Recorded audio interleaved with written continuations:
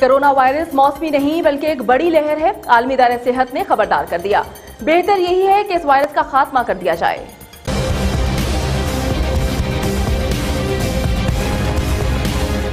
आलमी तरह सेहत ने कोरोना वायरस को एक बड़ी लहर करार देते हुए शुमाली निसफ कुर्रा में मौसम गर्मा के दौरान वबा की मुंतकली से मुतल खबरदार किया है कि ये वायरस इन्फ्लुएंजा की तरह नहीं, जो मौसमी रुझाना की पैरवी करे।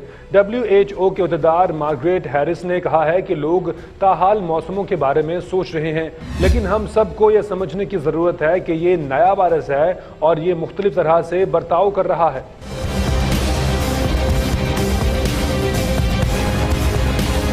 उन्होंने कहा है कि अभी वबा की पहली लहर है, ये एक बड़ी लहर बनने जा रहा है।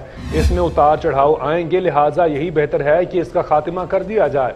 मार्गरेट हैरिस ने अमेरिका में गर्मी के मौसम के बावजूद बढ़ते हुए केसेस की तरफ़ इशारा करते हुए वायरस की सुस्त मुंतकली के लिए इकदाम पर ज़ोर दिया है और कहा है कि ये लोगों के बड़े इज्तम के ज़रिए फैल रहा है।